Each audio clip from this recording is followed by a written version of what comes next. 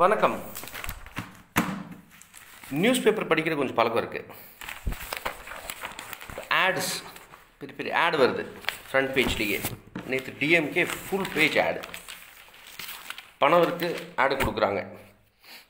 So அரசியல் வந்து democracy கண்டிப்பாக வந்து ஒரு பணம் சான்ற ஒரு விஷயம் ஆயிடுச்சு.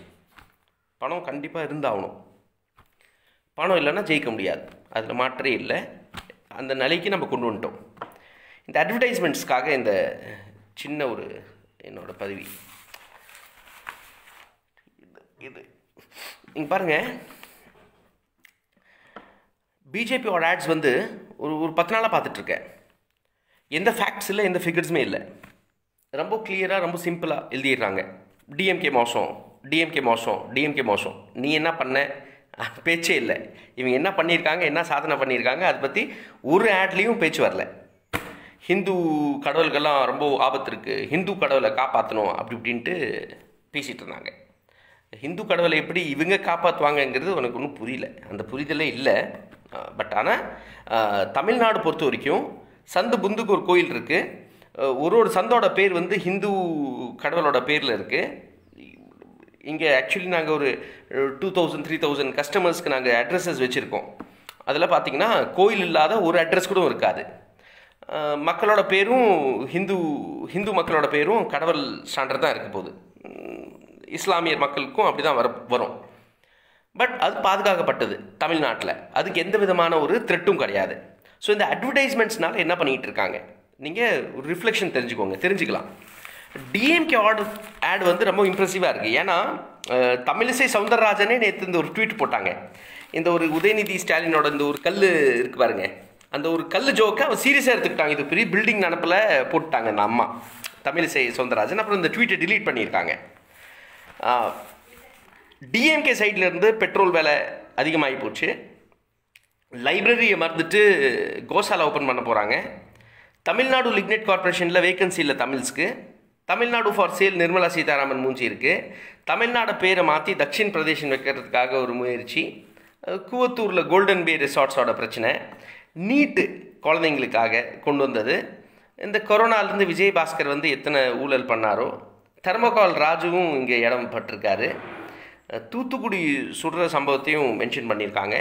சிஎம் எப்படி அடிமையாக இருக்கார் ஒரு பப்பட்டாக இருக்கார் முதல்ல மோதிக்கு அப்புறம் முதல்ல அம்மாவுக்கு இப்போ மோதிக்கு. நம்ம எச் ராஜாவும் ஃபீச்சர் பண்ணியிருக்காங்க ஸ்பெஷலாக நீ ஏன் ஸ்கூலுக்கு போகிற உன்னோட குலத்தொழிலுக்கு போகலாமேன்ட்டு நம்ம தர்ம யுத்தம் பண்ண ஓபிஎஸும் இருக்கார்.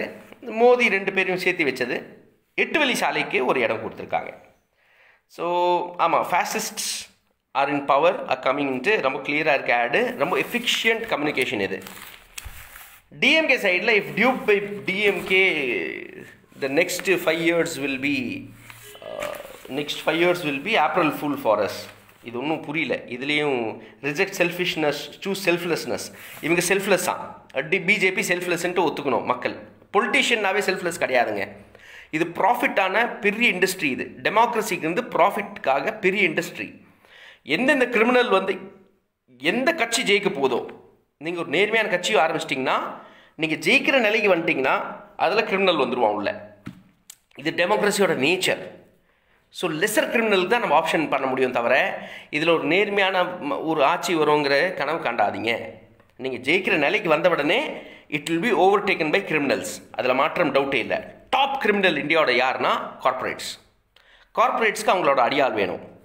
டிஎம்கேயும் அதே வேலை பார்த்துருக்கு. காங்கிரஸும் பார்த்துருக்கு. ஏடிஎம்கேயும் பார்த்துருக்கு. பிஜேபியும் பார்த்துருக்கு. இது பிரதான மக்- கட்சி பற்றி பேசினா சிபிஎம் கூட அதில் வேலை பார்த்துருக்காங்க.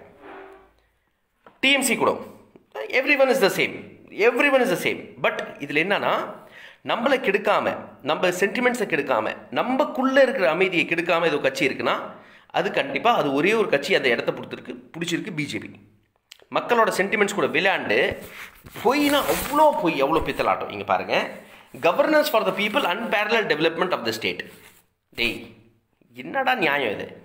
ஓகே மேபி நான் தப்பாக புரிஞ்சுக்கிட்டேன். டெவலப்மெண்ட் நம்ம எல் முருகன் நரேந்திர மோடி ஜேபி நட்டா அமித்ஷா பொறுத்த வரைக்கும் டெவலப்மெண்ட்னா என்னான்ட்டு அவங்க டெஃபினிஷன் என்ன இருக்குன்னா இப்போ யோகி ஆதித்யநாத் கோயம்புத்தூரில் இறங்கினார். இறங்கின உடனே கலவரத்துக்கு உண்டான ஒரு அடி ஒரு அணி வச்சுட்டாராங்க ஆரம்பிண்டா கலவரம் நான் இருக்கேன் யோகி ஆதித்யநாத் வந்துட்டாரு. ஸோ உடனே கல் எடுத்து அடிக்கிறது. பார்த்தோம். ஓ- ஒரு சந்தில் போயிட்டு இருக்காங்க. தாங்க முடியல. முஸ்லீம் கடை பேர்லாம் இல்லை முஸ்லீம் அங்கே கடை நடத்திட்டு இருக்காங்க. தாங்க முடியல அவங்களால. கொந்தளிச்சு ஏதோ கோஷம் போடுறது கல் எடுத்து அடிக்கிறது. இது கேவலமான மனுஷங்களே. ஏண்டா டெவலப்மெண்ட்னா கலவரம் இல்லை.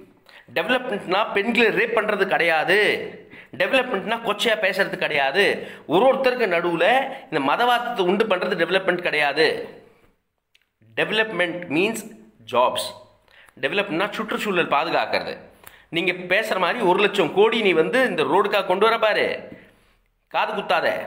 நீ ஒரு லட்சம் கோடி கொண்டு வந்தது தமிழ்நாட்டில் ரோடுக்காக எட்டு வழி சாலை மாதிரி திட்டங்களை கொண்டு வந்து எங்களோட மூணு லட்சம் நாலு லட்சம் ஏக்கர் நிலத்தை எடுக்கிறதுக்காக கொண்டு வரீங்க.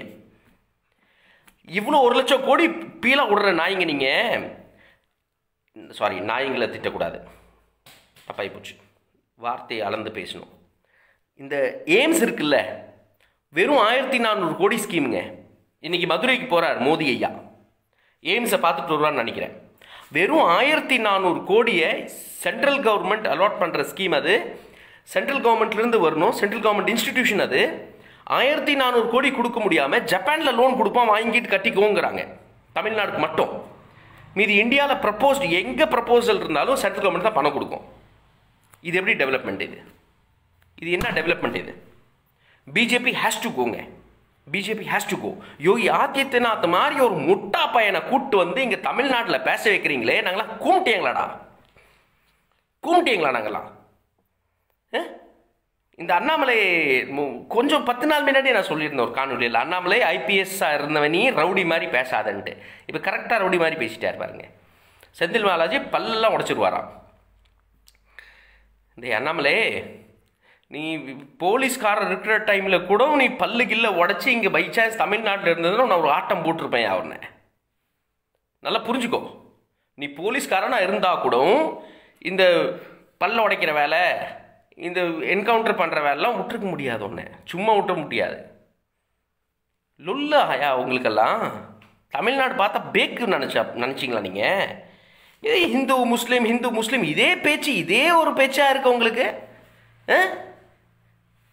ஏய் டென்மார்க்கை பாருங்கடா ஸ்வீடனை பாருங்கடா தமிழ்நாடு அந்த லெவலுக்கு போகணும்டா. அந்த பேராமீட்டர் செட் பண்ணுங்க. நீ எங்கேயோ எங்கேயோ பின்தங்கி எங்களை கூட்டு போகிற மாதிரி ஆட்ஸ் ஆன் மாதிரி தான் வந்துட்டுருக்கு. ஹிந்து காட்ஸ் டேஞ்சரில் இருக்காங்க. என்னடா டேஞ்சர் காட்ஸ்க்கு காட்ஸ்க்கு என்னடா டேஞ்சர் வர முடியும்? இங்கே பாருங்கள் ரொம்ப தெளிவாக இருக்கேன் நான். நான் ரொம்ப தெளிவாக இருக்கேன். எனக்கு எந்த கட்சிக்கும் நான் சப்போர்ட் பண்ண போகிற ஆள் கிடையாது. ஆனால் எதை எதுக்குறேன் எனக்கு ரொம்ப தெளிவாக இருக்குது நீங்களும் தெளிவாயிடுங்க. இந்த நாடை இந்த ஆறு வருஷத்தில் குட்டிச்சோறு ஆகிறது யார்? நினச்சி பாருங்கள் Bangladesh Indian international monetary fund வந்து நீ பங்களாதேஷோட ஏழையாக போயிட்டு இருக்குன்ட்டு இன்னைக்கு நேற்று ஏதோ அறிக்கை விட்டுருக்காங்க. நான் எங்கே எந்த நாடு கூட கம்பீட் பண்ணுறதுக்காக பேசிகிட்டு இருந்தேன். இங்கே எந்த நாடு கூட ஒப்பிட்டு எங்களை பேசிகிட்டு இருக்காங்க இன்னைக்கு? பங்களாதேஷ் வளரணும். அனைத்து நாடும் வளரணும். அங்கே இருக்கிற மக்களும் வளரணும். அதில் மாற்றம் இல்லை ஆனால் நான் இந்த ஊர் எங்கள் ஊர் இந்த ஊர் இந்த நாடு இது என்னடா வருது கொடுமைடா கொடுமை. சரி எனிவே இந்த முட்டாள்தனம் வந்து கிளியர்லேருந்து வந்திருக்க வெளியே.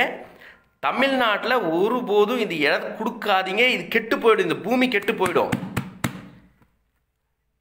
சிபிஎம் ரூல் பண்ண பெங்காலில் கூட துர்கா பூஜா உச்சக்கட்டத்தில் செலிப்ரேட் ஆனது. தமிழ்நாட்டில் திராவிட திராவிட கட்சிகள் மத நம்பிக்கை சாரி கடவுள் நம்பிக்கை இல்லாத கட்சிகள் இங்கே ஆள்னாலும் இங்கே மதம் வளர்ந்துட்டே இருந்திருக்கு. ஏன்னா அது உங்கள் நம்பிக்கை. அதில் யாரும் தடை பண்ண முடியாது யாரும் அதுக்கு ஒரு புள்ளி வைக்க முடியாது. பட் நீ நம்பிக்கையை வச்சு நீ ஜாதி மாதிரி ஒரு கொடுமையை உள்ளே வந்து போட்டனா இது கோயிலுக்குள்ளே இவன் வரக்கூடாது அவன் கூட வரக்கூடாது பேசினா அது தாங்க முடியாது. நீ மதத்தை வச்சு பணத்தை ஊழல் பண்ணி சம்பாரிச்சனா அது அலோவ் பண்ண முடியாது. ஆ முக்கியமான ஒரு விஷயத்தை மறந்துட்டேன். நம்ம ஜக்கி வாசுதேவ் இருக்கார் இல்லைங்க ஐயா ஜக்கி வாசுதேவ். ஆ? பூத் கேப்சரிங்க்கு ஒரு புது பேர் கொடுத்துட்டாரு. பூத் கேப்சரிங்னா என்ன? யாரோ ஒருத்தரோட ஓட்டு போய் அடிக்கிறது. ஓட்டு எண்ணிக்கை ஒரு பார்ட்டிக்கு அதிகம் பண்ணுறது இந்த மனுஷன் என்ன பண்ணியிருக்கான் தெரியுமா? ஜக்கி. இவன் ஆசிரமத்தில் இருக்கிற எல்லா ஆள் பேர்லேயும் ஓட்டர் ஐடி வாங்கிட்டான். ஓட்டு போடுறதுக்கு. வேலுமணிக்கு ரொம்ப சேஞ்சப் பிள்ளை மனுஷன். இந்த ஸ்கேம் வெளியே வந்திருக்கு. நீ வேலுமணிக்கு ஓட்டு போடு டிஎம்கேக்கு ஓட்டு போடு இல்லை நீ நாம் தமிழருக்கு போடு எம்என்எம் போடு யாரும் கேட்கல அவங்க ஆனால் இத்தனை ஆளுங்களை கூட்டத்தை சேர்த்து விட்டு அவங்க பேர் பட்டத்தை மாத்திரம் பாருங்க. சாமி நிர்பயானந்தா நித்யானந்தா நூத்தானந்தான் நொட்டனந்தான் அப்படி பேர் வச்சுக்குவாங்க. அந்த பேரில் ஓட்டர் ஐடி வாங்கியிருக்காங்க. இது எப்படிடா நடக்குது நாட்டில்? It's a crime it's impersonation இது என்கொயரி நடக்கணும். இது பெரிய லெவல் என்கொயரி நடக்கணும். Jaggi Vasudev should go to the prison for this நான் ஒரு ஒரு ஓட்டர் ஐடி நான் தனியாக ஒன்று பிரிண்ட் பண்ணி நான் தனியாக வச்சுக்க முடியாது. நான் டுவல் ரேஷன் கார்டு நான் வச்சுக்க முடியாது. இதுக்கு தனியாக ஒரு கேஸ் போடுவோம். ட்ரை பண்ணுவோம். நன்றி. எனிவே இந்த அட்வர்டைஸ்மெண்ட்ஸ் பார்த்து பிஜேபி தன்னவே நல்லா எக்ஸ்போஸ் பண்ணியிருக்கு. ஆறு வருஷத்தில் இருந்தோம் என்னத்தை சாதிச்சிருக்கோம் ஒன்றுத்தை பா காட்ட முடியல. இன்னும் சாதிச்சிருந்தா தானே? இருபத்தி ஒரு நாளில் கொரோனா ஜெயிச்சிருவோம். ஒரு கோடி கேஸ் கொண்டு வந்துட்டாங்க இந்தியாவில் ஈஸியாக அவாய்ட் பண்ணக்கூடிய ஒரு விஷயம். இன்டர்நேஷ்னல் ஃப்ளைட்ஸை ஃபெப்ரவரி ஜான்வரி மாதத்துலேயே நிறுத்தியிருந்தோன்னா நம்ம இந்த நிலைக்கு வந்திருக்க மாட்டோம் நம்ம இன்றைக்கி நிறுத்த முடியாமல் போயிட்டுருக்கு நன்றி நன்றி.